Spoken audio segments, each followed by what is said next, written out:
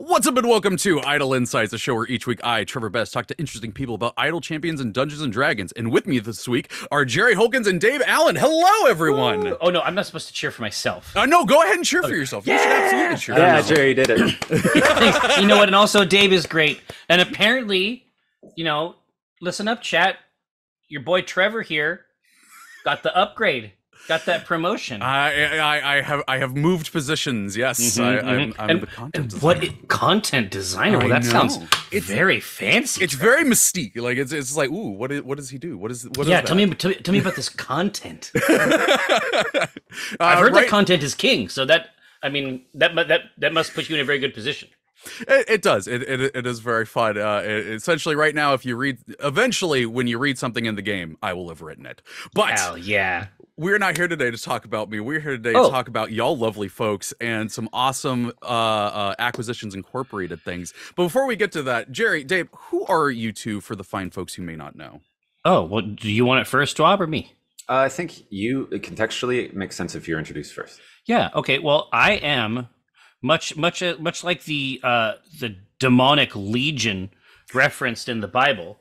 Um, uh, I am many. I contain multitudes. Let's start at the beginning. I regret my decision. I'm. Jer- you may not have. This is going to take 50 minutes, so you may not actually get part two have an week, folks. opportunity. no, but anyway, yeah, it's like obviously you know next week. No, um, I'm Jerry Holkins, IRL, but um, most of my career has been under various pseudonyms like Tycho Brahe of Penny Arcade and PAX and Child's Play, but also uh, Amenophis Hereward Dran, CEO of Acquisitions Incorporated, a deeply pretend Dungeons and Dragons adventuring company um, that it's entirely possible was there at more or less the genesis of what's now called live play and what You used to be called and what used to be called dorks um, you all were literally the first D and D show I ever listened to. it's it is entirely possible that we we served that role um, for a few people.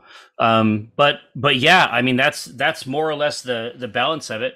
We have a few other uh, cool projects that we've worked on like the ironwood thornwatch um, there's you know there's there's a few other things here and there but between jerry holkins tycho brahe and omin dran that's probably most of it I like it. Um, I work for a guy with like eight names, kind of like Satan, the Devil, Lucifer, Morningstar kind of situation. yeah, lucifer Um, morningstar Uh, yeah, it's a real Sandman kind of scenario. Uh, I'm Yeah. a senior designer at Penny Arcade. I do a lot of our merchandise that you might see around PAX. I'm actually wearing a, a D&D shirt we did uh, official with WotC right now. Yeah, it's Um, true. You Dawn of the did uh, a book with WotC. So Oh yeah, that, that's yes. Oh, yeah, yeah. I mean, as far as I know, I mean, outside of, I would say that we're probably the first canonized campaign. But the truth is, you know, Greyhawk, Eberron, like these were all, you know, they were all these uh, uh, Dragonlance. These were all just their campaigns that ended up getting um elevated, it's true.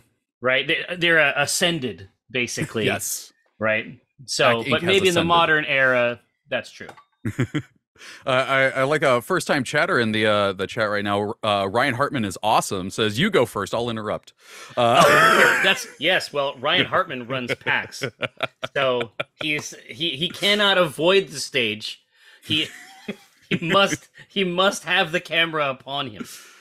Yes. Uh, and someone else asked in chat. Uh, Tre- uh, Trev, is this live? This is live. We are doing a live Yes. episode right now. Yeah. Uh, and uh, you can put your questions into chat for uh, for our two lovely guests. You can put it in with question colon, and then your question. Our awesome mods will grab it and put a little text doc that I've completely forgotten to open, and I'm going to do that at some point soon. Asking Uh, questions in this stream involves your colon. yes, it Is does. Is that a plugin? It is an optional plugin. Yes. Horror. The- yeah, we, we we we really go Lovecraftian on this show.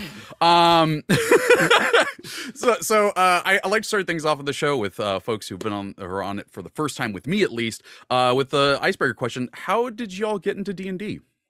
Uh, Dornjorns and and dragons.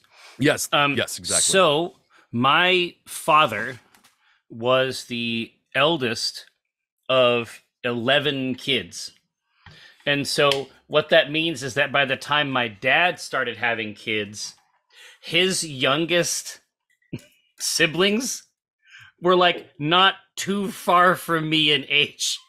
They were closer to my age than they were his, Okay. right? And so it was a wild ride. And uh, so sometimes I used to spend the night at my grandma's. We used to, um, you know, they had all these really amazing games. They had this crazy game. This is only take a second. They had this crazy game that they used to play. I think that if you have like 11 kids in the house, like you have to get really, really good at entertaining yourself. So this is like a big board game family. It's a big like puzzle family, but these are like a puzzle masochists. Like once I saw a thousand piece puzzle on the kitchen table at my grandma's house that uh, was of spaghetti. What? Uh, that's not the Like scary zoomed part. in or like pulled out with a plate? Yeah, a little bit of plate around the edge. Oh my god. but the actual image was of spaghetti and this is that's not the hate the hate is that it was all square pieces oh. so this is like the dark souls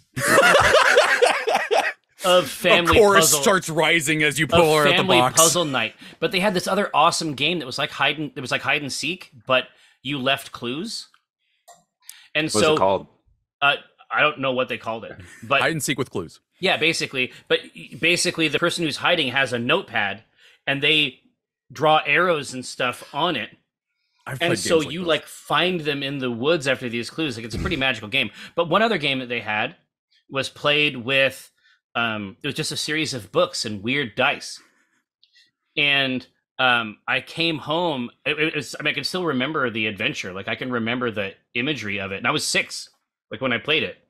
And when I came home, I told my mother what I had done, and I got in incredible trouble because uh, what six? So that would have been in 1982. Mm. It was widely uh, understood that Dungeons and Dragons was a a portal to uh, authentic de- demon worship.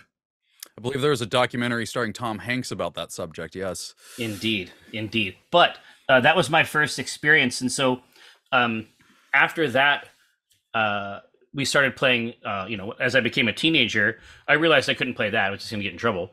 So we played a bunch of other role playing games, and then we started playing Dungeons and Dragons in secret, Mm. um, which you know nowadays, of course, seems very silly, but uh, at the at the time, it was more or less required. So you you were in the rebellious days. yeah, yeah, Yeah. I was going crazy with these pencils. uh, Dave, how about you? How'd you get into D and D? Um, honestly, it's through Acquisitions Incorporated live show at a PAX West. Um, just a recording of it. I didn't. I didn't. I wasn't even aware. I think I was at that show. I want to say it was like 2010. I don't know, 2011 or something.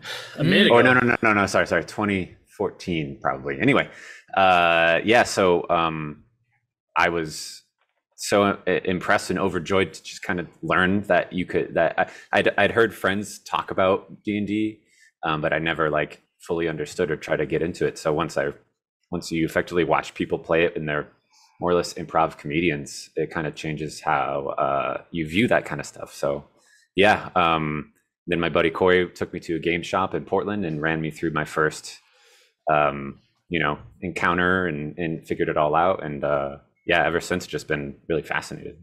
That's awesome. I love it, and, and we got uh we got Acquisitions Incorporated to thank for that, and that is, and we're we're here to talk about some of that today. So what what is Acquisitions Incorporated?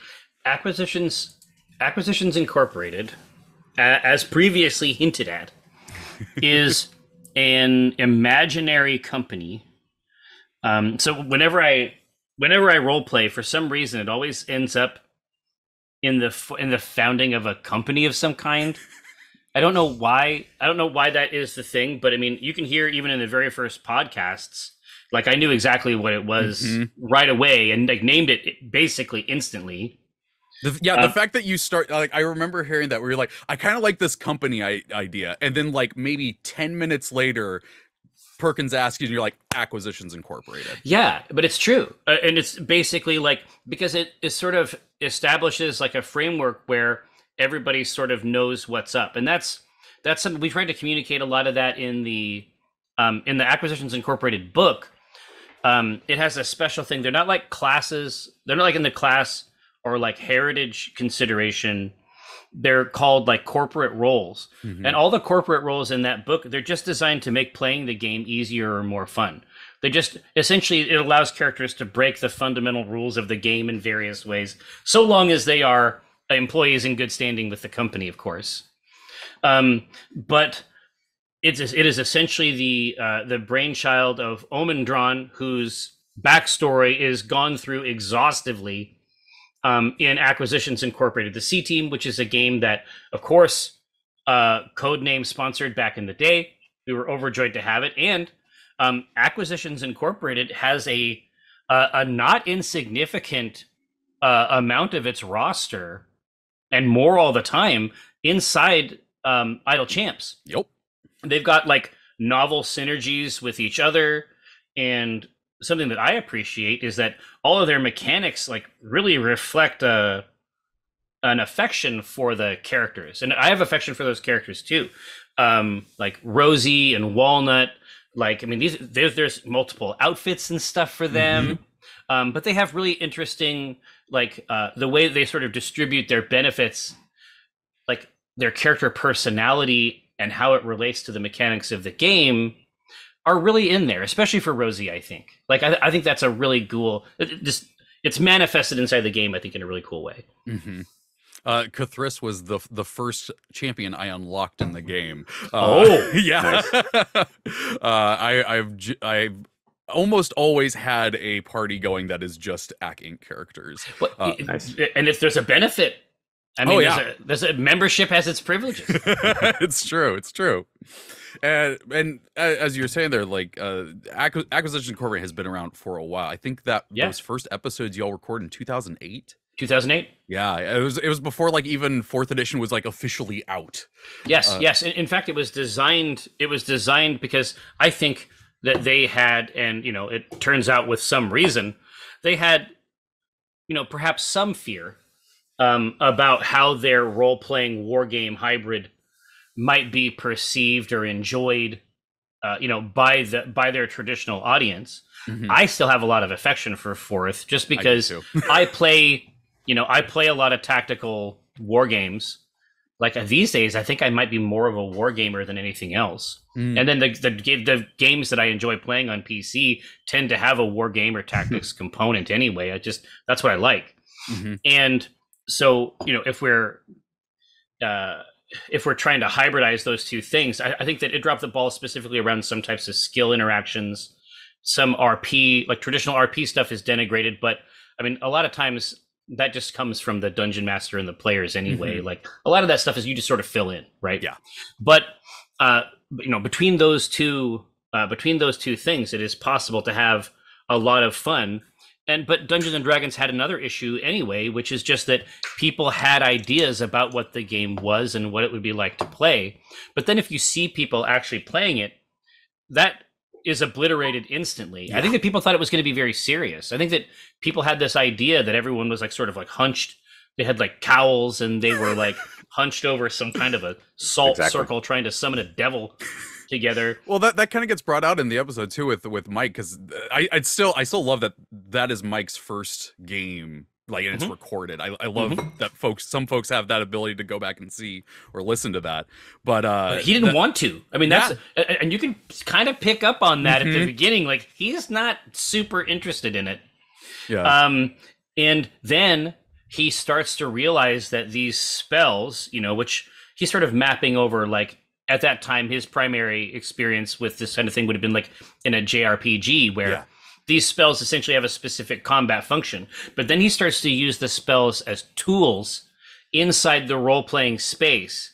And that unlocked the game for him. That it was a simulated space that could be manipulated as long as everybody agrees um, you can play whatever game you want in there. And I think that once he realized that, um, he realized that you know, as a person who draws and imagines things more or less as their job, I think he realized that there's actually a lot of fun to be had um, tweaking those systems with your friends.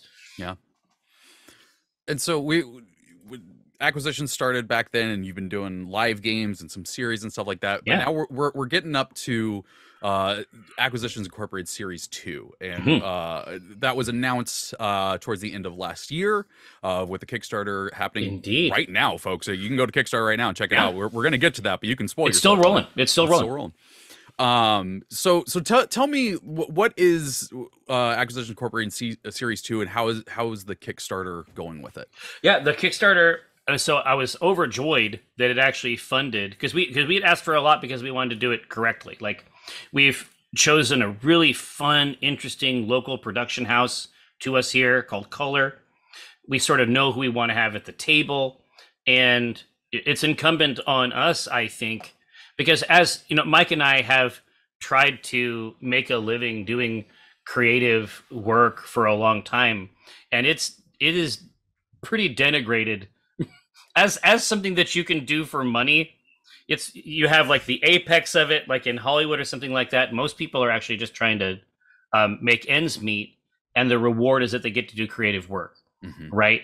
Uh that uh, i'm not going to do that and um this is a creator run company. We want to work with other creators. We want to make something incredible and i want to pay those people correctly. And so our ask was significant. But uh you know in advance of pax east um with some tantalizing uh our uh, ryan hartman as you saw in the channel uh he basically teased people and said hey if this if this stuff funds before pax east uh we'll bring the c team back for a, a one shot oh. um, and that that appears to have sort of pushed it over the pushed it over the edge. So now we're creeping up toward the first stretch goal, which is to have uh, Jasmine Bhullar, that bronze girl, who I'm sure you, you're familiar with. Yep. Good, good pal. we just did um, a uh, charity familiar with her yeah Yes, exactly, exactly right. I, I saw it on her feed.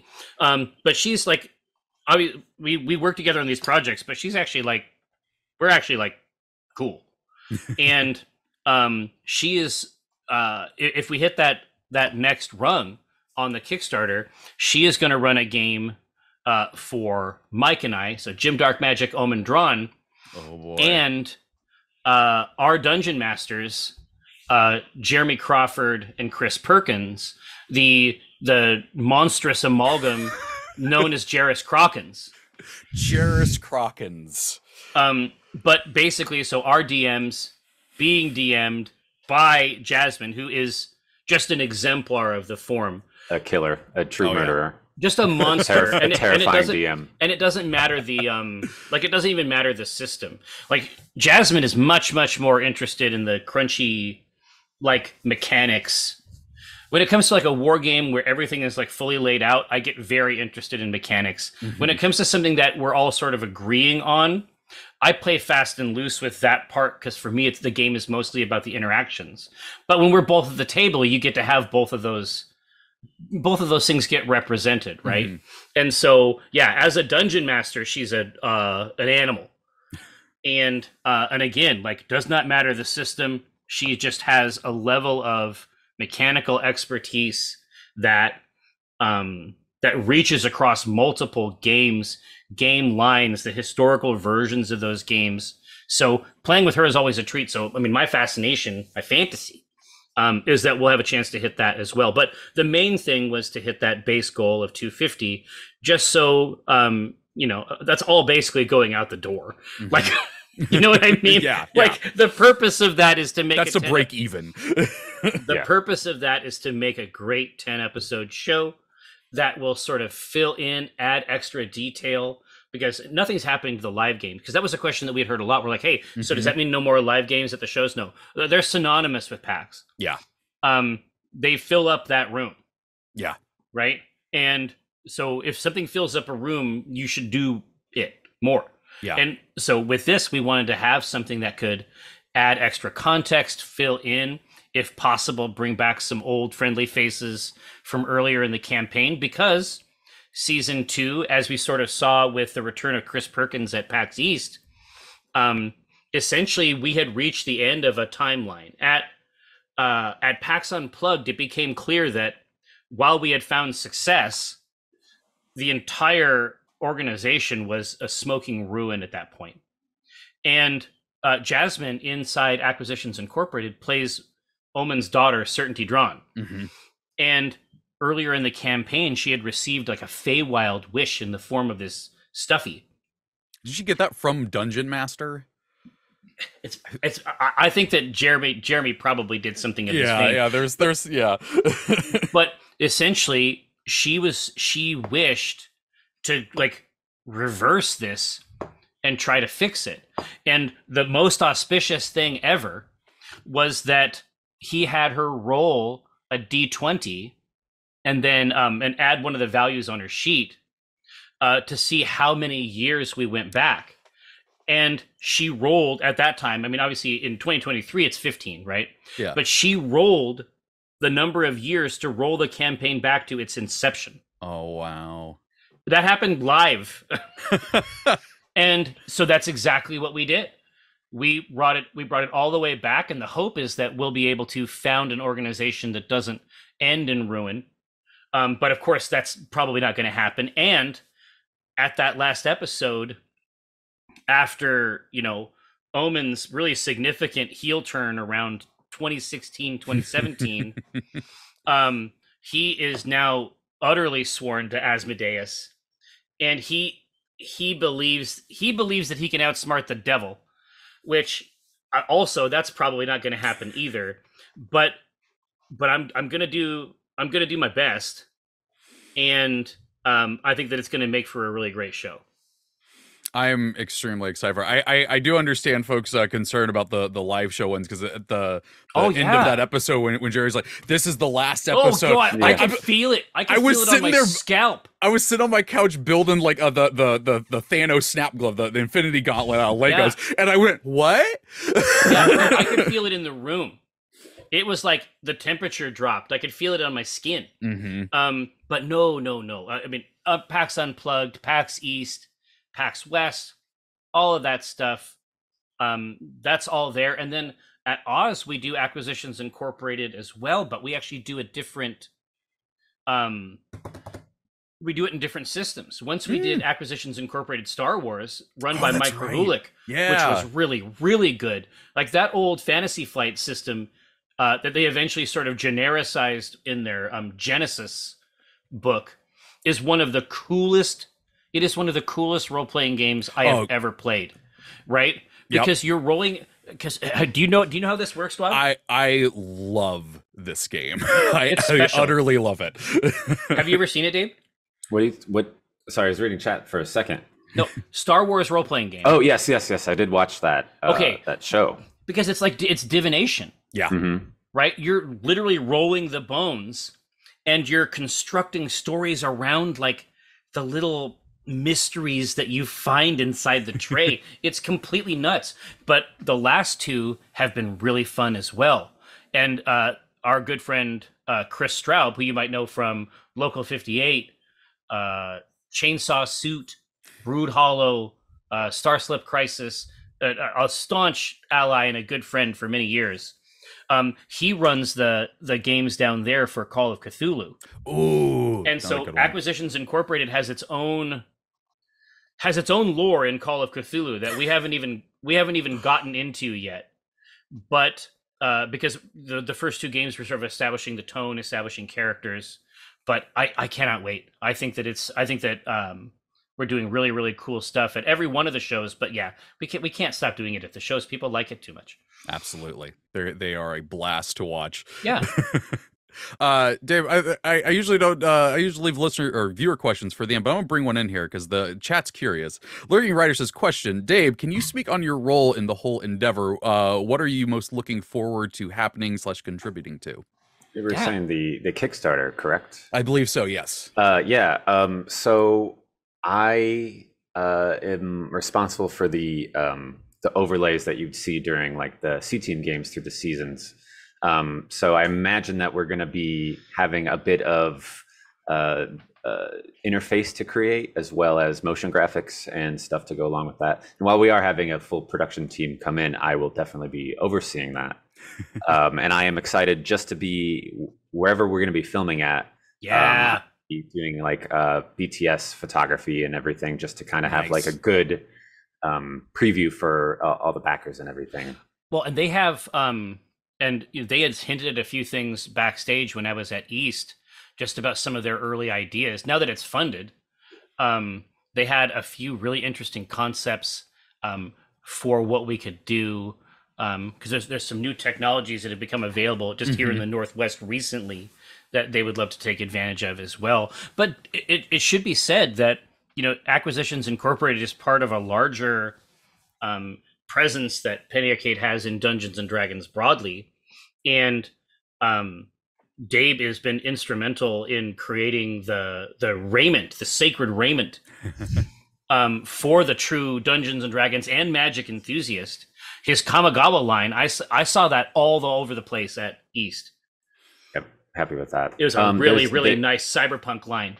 Oh, uh, that's if you've been paying attention to our uh, Twitter, you might have seen um, a certain image of a shirt that might not have looked official quite yet. That has many faces of Jerry on it, um, as if he was a pro wrestler. Um, it looks so- like a, a shirt you would buy from the back of a truck. Exactly. Um, we want to sell it on a like a cardboard stand kind of thing outside of the venue. Um, so uh, I'd like to contribute uh, a bunch of merchandise and, and kind of stuff like that to uh, additionally to kind of fill out uh, the lore and everything as as we're doing this reboot.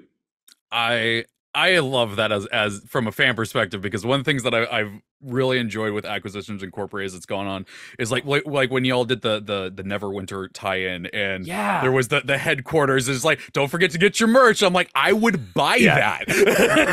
yeah, and I, I wrote all that stuff too. Like we were we you know we handled a lot of the creative services on that Mhm. On that expansion, and it's it's a really fun. Like if you're into Neverwinter, like that quest line is really fun, yeah. and it has a lot of funny stuff in the items and um, descriptions. The the the little uh um dark ride uh tour Right? I, I've played that I think about four times now, and every time I laugh They're through it. popping out. It's so dumb. It's so dumb, but, But it it's get- so it- fun. it gets the feel of acting so well in there. you Mhm. really feel like an intern. yeah, yeah, we really we wanted that to be it, but then it's also much sillier than Neverwinter Nights can be generally, Mhm. and so hopefully it was a fun like shift, like for the longtime enthusiast, and it was also really fun because when we had the team out to the office and we were talking about making the project, Mhm. um, we're like, here, just give me a full list of all the places that you have done adventures, places that you think people would like to go back to.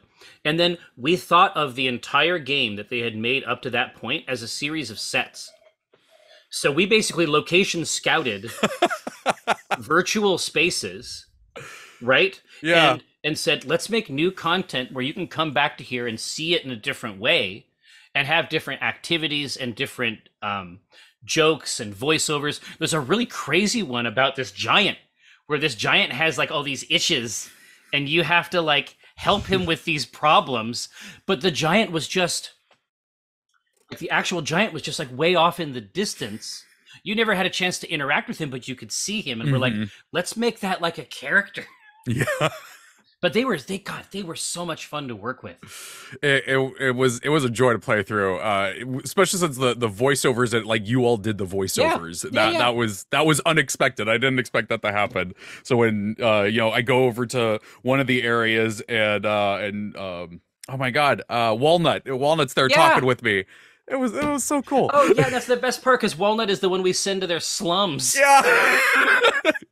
and the deadpan delivery, I was like, yeah, nope, I'm here. Yeah, Again. exactly. No, yeah, and of course that's our good friend Tris. yes. So any anytime you have a chance to work with with Tris, you're gonna get way more than you put in. So Uh, Dave, I want to go back uh, talk, talking about the overs because it actually did get called out in the chat that like your your overlays are fantastic. And for series two, like it, I, I I don't know if this has been sorry. Is this is this going to be a recorded show or is this a live show? Yeah, so episode so the season 2 is going to be essentially like season 1 in that it's going to be like a multi-camera Okay.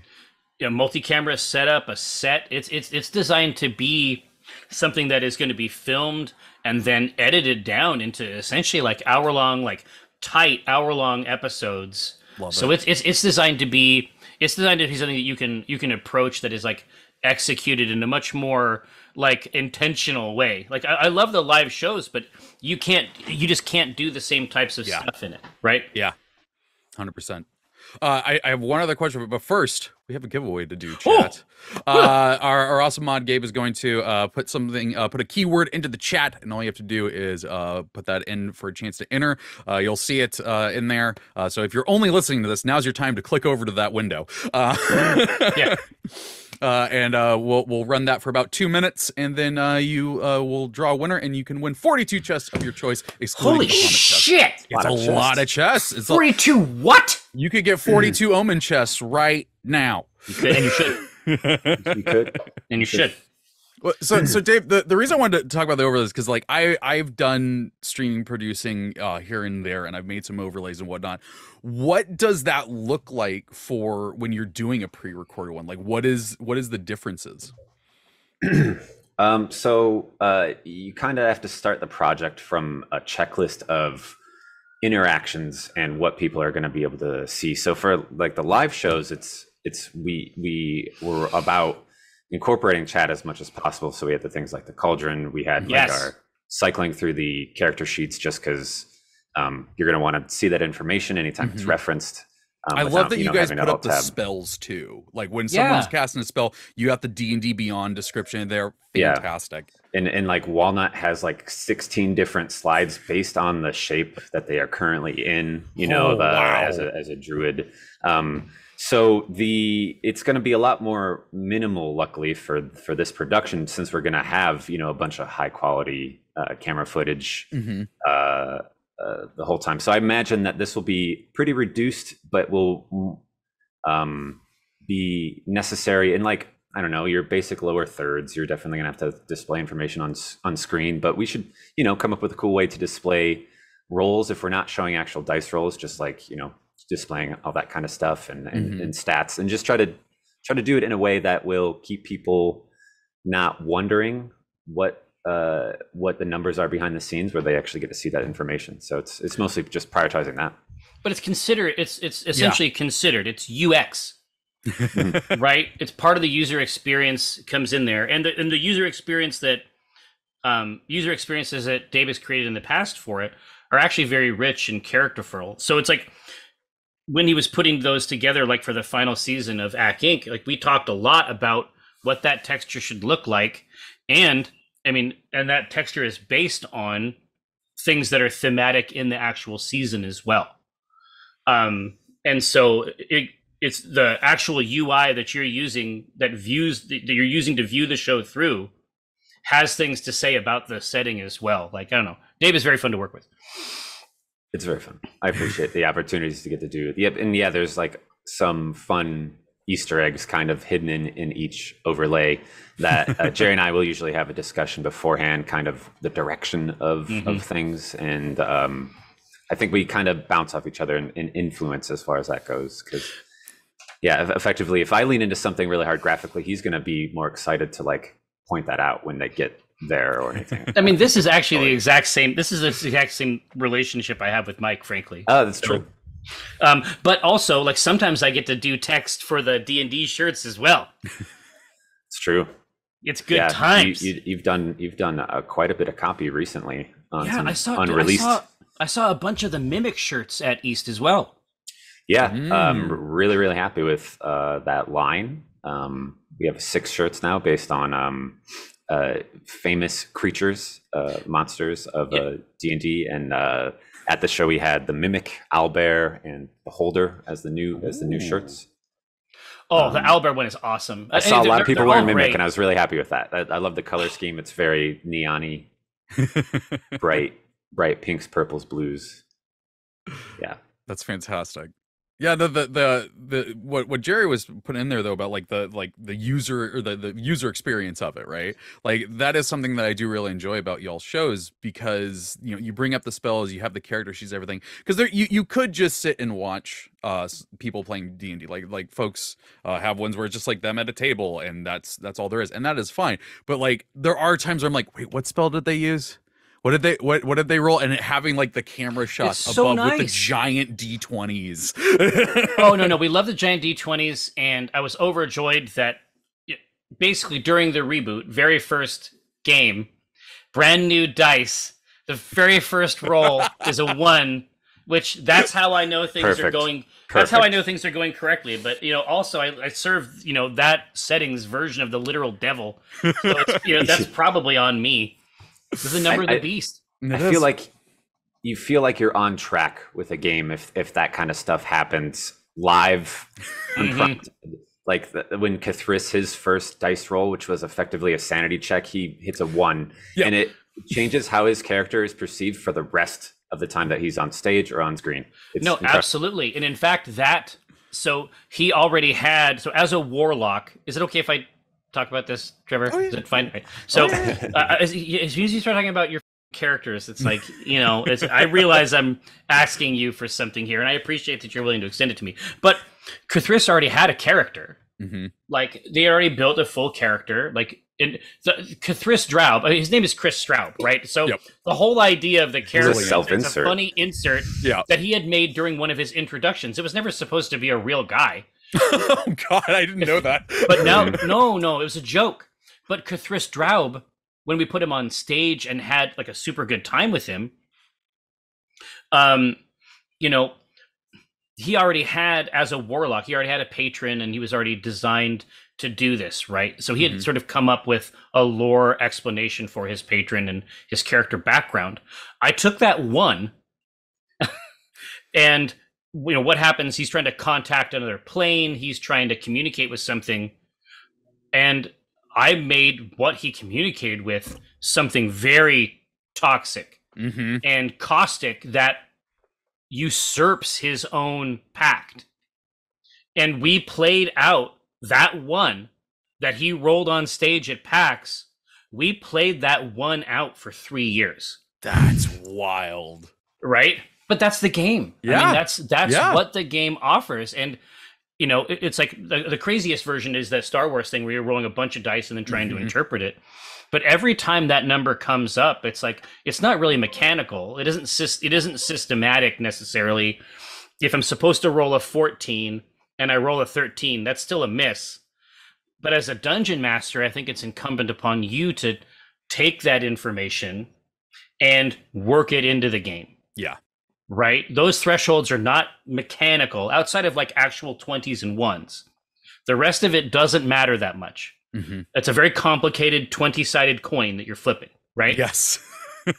But when those numbers are close, and that's why um, uh, my best friend on earth, Mike Krahulik, um, you know, at his table, if you are one off, but you describe how you do it and you contribute to the game and the story, you can have it. Oh, I like that. It's Yeah. a I really might steal that. That's really, really good. really good rule, right? Yeah. Wow. So yeah. if you want to get a plus one, you have to put a picture into everybody's head that makes the game better. I and- love that. Uh, who loses in this circumstance? yeah, exactly. And, well, and as someone who who uh, regularly rolls low or just one off, I appreciate that one extra little little help there. these are these are heroes, right? Yes. I mean, they're they're heroes, and the difference between them and everybody else is that they have a destiny. Yeah. and that destiny allows them to thumb that scale, and so I've always really liked that he has that in there. I and that is a great way to describe it thematically for it. Like, yeah, these are heroes. They, these are the ones who are changing the world uh, that they're in. Exactly, exactly. The world has favored them in some way. Exactly. Um, so we, we have we have a couple of uh, of uh, questions from chat here. Oh, I'm overjoyed. Uh, and uh, you can still put questions in there if you want. Remember, question colon, then your question. Yeah, Uh, put a question in your colon because Trevor is weird, I guess. Yep. I am weird. That is well known here on this channel. Uh, let's see. Cassius three three five says question. Uh, uh, Pocket Paragons Acq Inc. Uh, was the product of another Kickstarter that ended recently. Yes. Uh, what is uh, Pocket Paragons and how can we uh, get in a good word for CNE with Solo Game Oh. Studios? it would be S- Solis. Solis. That's my friend Chris Solis. Oh, Uh, that would that would not be hard at all. I wonder what. Oh gosh, you, they, you totally should because a lot of people have their um, they have their PCs in the game now. A lot of the characters that you can Mm. get are actually played by real people. Oh, really? I'm I'm now googling this. I, I Oh, don't. no, I'm no. I mean, in. I mean, in Idle Champs. Oh yeah, yeah, yeah. like like my friend uh, Mark Hulmes has, has got some sauce in Mhm. there. Um, I would be shocked if uh, Jasmine didn't eventually, outside of her charity creature, I'd be Mhm. shocked if she didn't end up with something cool in there. But Perkins obviously, is in there too, right? yeah, Perkins is in there as well, right? we we do have spurt. We have Yeah, uh, we Yeah. have a spurt character. Yeah. I'm just saying there's lots of there's lots of characters in there that are from people's actual home games or characters that you guys have put together yourself. So um so there's lots and lots of games that are based around um rock paper scissors as a concept. Mhm. I mean arguably even an RTS game like Command and Conquer has a basic R you know RPS Mhm. dynamic whether it's like it's ground it's troops versus tanks versus air. I mean there, there's a few different ways that it it it um, filters out. So pocket paragons every individual character in pocket paragons is really only six cards. And it's essentially like a rock paper scissors plus game the difference is that um, every character has a card they use to rest and a card they use to Oh. execute. And so you can play a very sophisticated game against another person. But again, since you only have six cards and each time you use one, it gets consumed Mhm. for the most part. And it gets consumed. Eventually, you're going to need to rest to refresh your hand. Yeah. And so the game, you can either try to play the basic game and try to whittle someone's HP down, or you can try to be there and figure out when they're going to rest.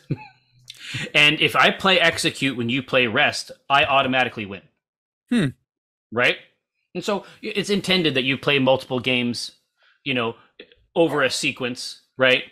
Or you might, um, there is a, a more sophisticated version of the game where I choose, it's more like, like Marvel versus Capcom. I choose three characters, and then when you take one of them out, I put one of my other characters in.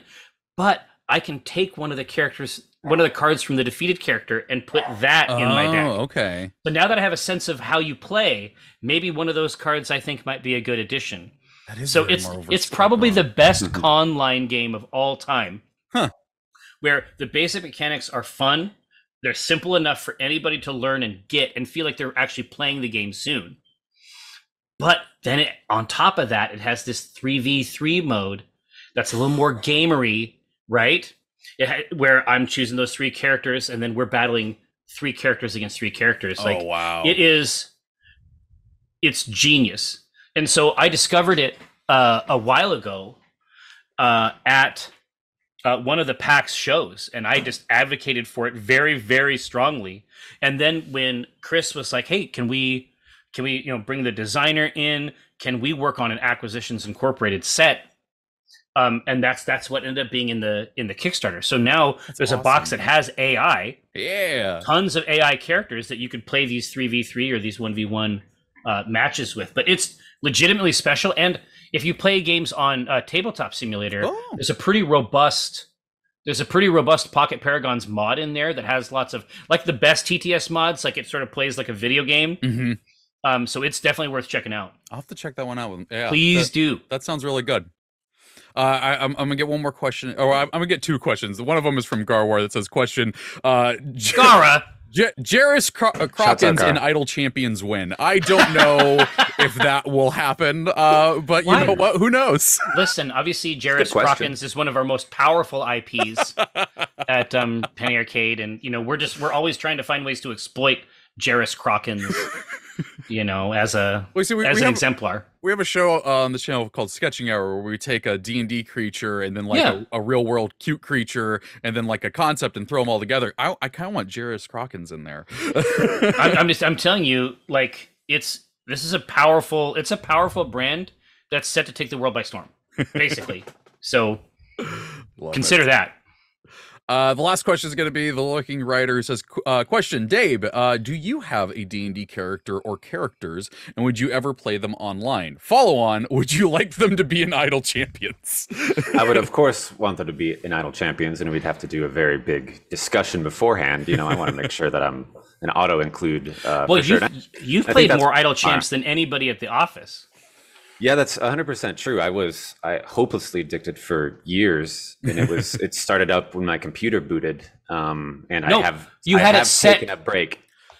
You had So it I- I set. to, haven't you had it set to unload. Are Oh, you yeah, that serious? That's Yeah, no, awesome. He That was is awesome. nuts. Yeah, um, uh, and I and I loved so much about it, and I haven't even played like an idle game since I like installed a few, and was like, this isn't it.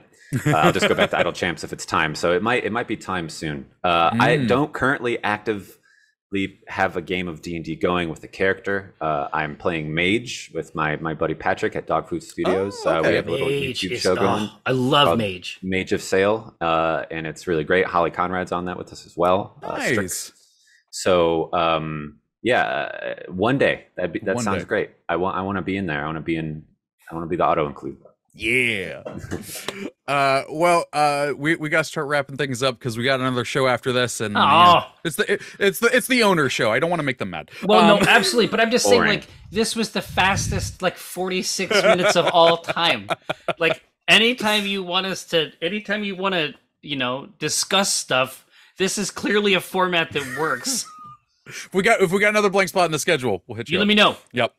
Uh, but but uh, where where can people find the two of you on the interwebs if they would like to do so? Oh, well, I mean, you can take a look at pennyarcade.com, penny dash arcade, excuse me. It's a website. Um, it's online. It's a it's a web. Um, you can come check out the new site if you want. Um, of course, at PAX shows, you will see Dave. You'll most likely see his his camera and the long lens um, Looking right at you. uh, in front of it. But Dave and I, uh, we tend to stream on Fridays. Now, tomorrow, since we're wrapping up the Kickstarter, we're doing something separate. But Dave and I typically stream from 10 a.m. to 2 p.m. on Fridays, the Friday stream. Mhm. Um, and sometimes we play games with chat. Uh, sometimes we mix it up, but it's mostly like a variety thing. But it's mostly chill vibes. Very, very good way to head into the weekend for sure. Um, but yeah, I mean, outside of PAX and the the live shows and the streams, like, actually, if you are a super dork, um, let me tell you about what happens on Tuesdays. So Oh on yeah. Tuesday at noon, we operate a very strange program called Acquisitions Intoxicated, which is a brewing show. We can teach you some basic brewing concepts. We brew live on stream. We also try the the products uh, of the brewing um, from our in stage bar, um, and then starting at two thirty, uh, right you know right after that show that goes from noon to 1.30, uh, starting at two thirty, we have a live play game that does things a little bit different called Black Remnant. That Mm. is a BattleTech game where that the uh, obviously the role playing occurs much as you would expect, but anytime combat occurs, we use the stripped down BattleTech system Alpha Strike. So it's a war game, role playing game um, that we do Tuesdays. That's awesome. Take Love take it. a look at it. You might enjoy I it. will. I will. Uh, Dave, what about you? Where can people find you? Uh, on those streams, I'm also streaming on Mondays on the Penny Arcade. Oh Ar- yeah, you, you and channel Gav. at noon. Yeah, we do uh, puzzle games. Um, I, I think you can probably best see my uh, work on uh, Twitter. I, I luckily got in early. I'm at Dabe. Um, love those four character usernames. Uh, and on Instagram at Dabe underscore Alan. Um, usually try to post uh, my PAX photos or any work projects and merch and stuff uh, on those channels. I, I did check out your Instagram. There, that I mean, the first thing I heard about you was photography, and that is exactly what what was in there, and I they were fantastic. Thank you. Uh, well, uh, thank you both so much for joining me. Uh, Oh. Chat, stick around uh, after the show for a quick little news announcement, and then Dev Insights will uh, follow immediately ooh, after ooh. that.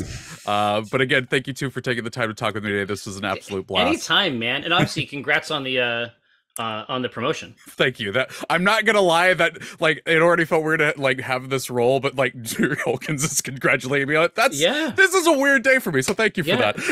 yeah, listen, you- you're I'm it's okay. You're kicking ass. It's all right to feel good about it.